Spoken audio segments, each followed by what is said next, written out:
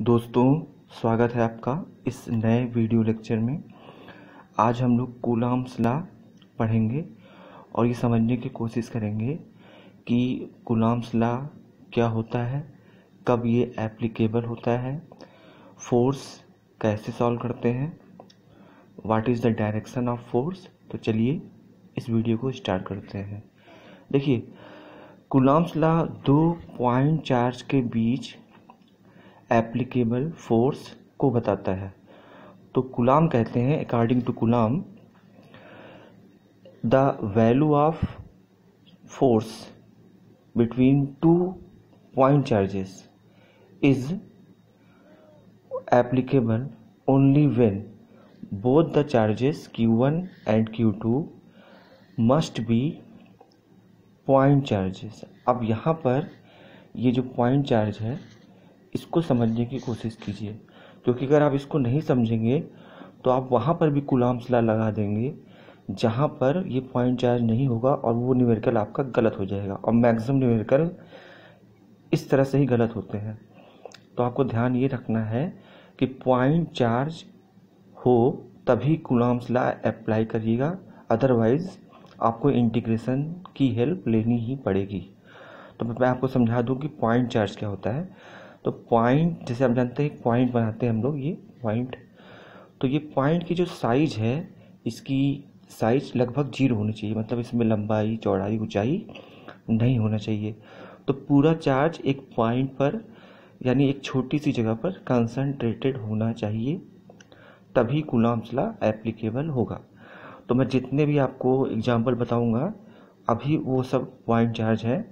उसके बाद अगले वीडियो में मैं आपको ऐसे न्यूमेरिकल भी बताऊँगा जिसमें पॉइंट चार्ज नहीं होगा, तब कैसे कुलाम्स ला अप्लाई करते हैं।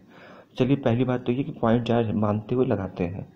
अब देखिए कुलाम्स ला का स्टेटमेंट है कि दो चार्ज के बीच, ध्यान से सुनिएगा, दो चार्ज के बीच एक फोर्स एक्ट करता है। और ये जो फोर्स होता है, वो या तो इन दोनों चार्ज को रिपेल करता है या अट्रैक्ट करता है, सिर्फ़ दो पॉसिबिलिटी है। अगर फोर्स लगेगा तो या तो वो रिपेल करेगा या तो उसको अट्रैक्ट करेगा। मतलब तो दोनों चार्ज एक दूसरे की ओर मूव करेंगे तो अट्रैक्ट होंगे, एक दूसरे से दूर हटेंगे तो रिपेल होंगे। ठीक? अब मैं यहाँ पर आपसे क्या बहुत खास कहने वाला हूँ, वो सुनिएगा। अगर बोथ द चार्जेस दोनों चार्ज पॉजिटिव है या दोनों चार्ज नेगेटिव है। ध्यान दीजिएगा इस पर अगर दोनों चार्ज पॉजिटिव है या दोनों चार्ज नेगेटिव है तो वो एक दूसरे को रिपेल करेंगे। रिपेल करने का मतलब वो एक दूसरे से दूर हटेंगे। अब इसमें डायरेक्शन में गलती होती है बच्चों से सुनिएगा ध्यान से। जैसे क्यू वन चार्ज है तो ये चार्ज दूर हटेगा अभी। तो इसे फोर्स दूर लगेगा। कौन से चार्ज से दूर हटेगा? इस वाले से। और ये वाला चार्ज भी इस वाले चार्ज से दूर हटेगा अवे तो पहली बात तो ये कि ये जो फोर्स है, ये वाला, ये इधर जो लग रहा है, ये और ये जो इधर लग रहा है, ये दोनों फोर्स इस तरह से होने चाहिए कि ये दोनों चार्ज के बीच के डिस्टेंस बढ़ाए रिपल्सन ऐसे ही इस दोनों जब नेगेटिव होंगे similar charges repel each other यानी एक ही प्रकार के चार्ज एक दूसरे को प्रतिकर्षित करते हैं। तो ये वाला जो चार्ज है क्यू टू ये भी माइनस है। इसे फोर्स इधर लगेगा। अभी कितना फोर्स लगेगा इसमें मत चाहिए इसमें इंपॉर्टेंट डायरेक्शन है। फॉर्मूले से कुछ होने वाला है नहीं। और ये इधर हटेगा। तो आप देख रहे हैं, इस केस में और इस केस में दोनों में रिपल्सन लग रहा है। कारण समझ रहे होंगे आप कि ये चार्ज और ये चार्ज दोनों सेम नेचर के हैं पॉजिटिव रिपेल होंगे और ये भी दोनों नेगेटिव है तो रिपेल होंगे। अगर एक पॉजिटिव एक नेगेटिव है तो अट्रैक्शन फोर्स लगेगा। अब अट्रैक्शन का मतलब ये है कि दोनों के बीच की डिस्टेंस डिक्रीज करेगी। यानी ये चलेगा इधर इसकी ओर और, और ये चलेगा इधर दूसरे वाले चार्ज की ओर। मतलब both the charges will move move towards each other तो उनके बीच की दूरी यहाँ पर कम होगी। तो मान लीजिए इस पर अगर देखें तो बताइए आप फोर्स किधर लगेगा, आप समझ रहे होंगे। इस पर फोर्स लगेगा टूवर्ड्स राइट और इस पर भी लगेगा टूवर्ड्स लेफ़्ट तो ये दोनों फोर्स इस तरह लगेंगे, ये एक दूसरे के पास है ऐसे ही इस वाले एग्ज़ाम्पल में ये माइनस है, ये प्लस है तो ये दोनों चार्ज ये वाला चार्ज मूव करेगा इधर और ये वाला चार्ज मूव करेगा इधर। तो आपको ध्यान ये रखना है कि ये जो आप लोग एरो बनाते हैं, जैसे कुछ बच्चे क्या करते हैं अट्रैक्शन का बनाना है तो वो क्या करते हैं, ये जो एरो बनाते हैं, वो यहाँ बना देते हैं, ऐसे, यहाँ पर, ऐसे ऐसे। तो ये गलत हो जाएगा, क्योंकि जिस चार्ज के ऊपर फोर्स लगना है, आप उसके ऊपर आपको पेन रखनी होगी। पेन रख दिया आपने, फिर इस पर किधर फोर्स लग रहा है, इधर तो इस पर एरो बनाइए। ऐसे ही इस पर फोर्स बताना है तो इस पर एरो रखिए। ना कि यहाँ कहीं बीच में या इधर। वरना आपका गलत हो जाएगा। तो ये डायरेक्शन मैंने समझाने की कोशिश की। अब मैं आपको एक बहुत ख़ास बात बताता हूँ। जैसे आप जानते हैं न्यूटन थर्ड ला है। जैसे आपके बुक में लिखा हुआ है। यहाँ लिखा हुआ है एफ़ वन यहाँ लिखा हुआ है एफ़ टू अब ये एफ़ वन और ये एफ़ टू बच्चों को करता है बहुत कंफ्यूज अब वो कन्फ्यूज़न क्या है?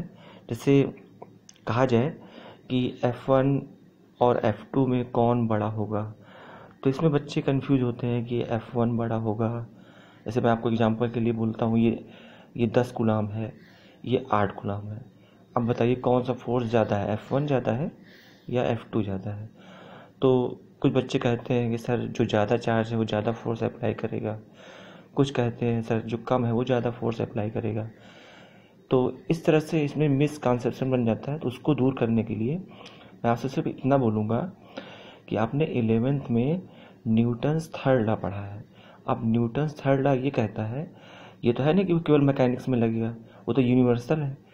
तो उसमें उसका सीधा सा स्टेटमेंट है, पहला चार्ज दूसरे पर जितना फोर्स लगाता है, यानी एक्शन उतना ही दूसरा चार्ज पहले पे फोर्स लगाता है, यानी रिएक्शन यानी ये फोर्स मैं अब कभी भी एफ़ वन सफिक्स ये वन सफिक्स नहीं लगाऊँगा और ये एफ़ टू सफिक्स नहीं लगाऊँगा, क्योंकि मैंने आपको समझा दिया according to Newton's action and reaction law one will apply equal force in magnitude and opposite in direction यानी देखिए, ध्यान दीजिए डायरेक्शन तो अपोजिट है ना, इस पर डायरेक्शन बाएँ है, इस पर दाएँ है डायरेक्शन अपोजिट है, जो कि वहाँ का रूल था, फॉलो हो रहा है।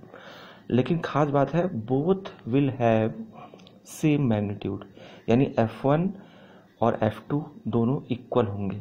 और ये केवल यहाँ पर ही नहीं, इन सब में, जितने में आप लगा रहे हैं फोर्स सब में फोर्स इक्वल होगा। तो अब मैं, जब वो इक्वल है तो मैं एफ़ वन एफ़ टू लगाकर आपको कन्फ्यूज़ क्यों करूँ? तो यहाँ पर मैं ये लिखूँगा, केवल एफ़ फोर्स है, और ऐसे में यहाँ पर भी लिखूँगा, ये फोर्स केवल एफ़ है। आपको बात समझ में आ रही होगी कि फोर्स हमेशा हम लोग को सेम लिखना है। ऐसे ही ये वाला फोर्स भी एफ़ है, ये भी एफ़ है, ये भी एफ़ है, और ऐसे ही ये भी एफ़ है, सब एफ़ है, सब फोर्स इक्वल है। ये वाला फोर्स भी एफ़ है। अब देखिए, ध्यान दीजिएगा मैंने ये समझाने की कोशिश की है कि डायरेक्शन को कैसे समझेंगे? फोर्स का मैग्नीट्यूड इक्वल होगा, कोई कम ज़्यादा नहीं होगा। कारण मैंने आपको बता दिया। अब आते हैं स्टेटमेंट पे। देखिए स्टेटमेंट है गुलाम सलाह का कि जो फोर्स का मैग्नीट्यूड होगा मॉड वो दोनों चार्ज के मैग्नीट्यूड के प्रोडक्ट के डायरेक्टली प्रोपोर्शनल होगा। अब यहाँ मैं कहना क्या चाह रहा हूँ, उस पर ध्यान दीजिए। क्यू वन अगर प्लस है या माइनस है, दोनों केस में आप मॉड लेंगे तो प्लस ही आएगा। और क्यू टू भी ऐसे ही प्लस आएगा। तो हम लोग कभी भी चार्ज को माइनस नहीं लिखेंगे, हमेशा प्लस लिखेंगे। और ये जो फोर्स होगा, वो दोनों चार्ज के बीच की जो डिस्टेंस है, ये आर उसके स्क्वायर के रेसिप्रोकल के डायरेक्टली प्रोपोर्शनल होगा। और जब आप इन दोनों को कंबाइन करेंगे तो अब आप जान रहे हैं कि वन, क्यू, टू जो मॉड है, वो प्लस है। तो मैं मॉड हटा दे रहा हूँ। समझाने के लिए आपको ये समझा रहा, यहाँ मैंने लिखा था अब मैं इसको हटा दे रहा हूँ। अब मैंने यहाँ लिखा है क्यू वन ये लिखा है क्यू टू ये दोनों हमेशा पॉजिटिव होंगे तो अगर माइनस भी हो तो अब भी आप प्लस लिखिएगा। अपान आर स्क्वायर और जैसे ही प्रोपोर्शनलिटी हटेगी ये कांस्टेंट आएगा one upon four pi epsilon naught यहाँ पर अगर एयर मीडियम है तो और अगर ये मीडियम एयर ना होकर कुछ और हो तो अब एक डाइलेक्ट्रिक कांस्टेंट भी आएगा, और वो डाइलेक्ट्रिक कांस्टेंट क्या होगा, ये मैं आपको बताता हूँ। देखिए, ध्यान दीजिएगा। जैसे मान लीजिए, दोनों चार्ज के बीच का जो मीडियम है, वो एयर ना होकर कोई और मीडियम है। तो हर मीडियम का एक डाइलेक्ट्रिक कांस्टेंट होता है, एयर का डाइलेक्ट्रिक कांस्टेंट के होता है। तो मान लीजिए क्यू वन क्यू टू दो चार्ज है और आर उनके बीच का सेपरेशन है और मीडियम है, जिसका डायरेक्ट्रिक कांस्टेंट के है। तो अब हम लोग यहाँ पर one upon four pi epsilon naught के लिख अब ये के भी लिखेंगे, जो कि मीडियम के लिए पर्टिकुलर न्यूमेरिकल वैल्यू रखेगा ये। एफ़ सेलन नॉट यहाँ पर डाइलेक्ट एफ़ सेलन नॉट यहाँ पर एयर की परमिटिविटी है और के मीडियम का डाइलेक्ट्रिक कांस्टेंट है। अब के की वैल्यू जान लीजिए। एयर के लिए के की वैल्यू वन होती है, वाटर के लिए एट्टी वन होती है। ये आपको याद नहीं करना है, आपको मैं एक डाटा बता रहा हूँ, दो तीन वैल्यूज़। और किसी मेटेलिक मीडियम का के जो है इनफाइनाइट होता है।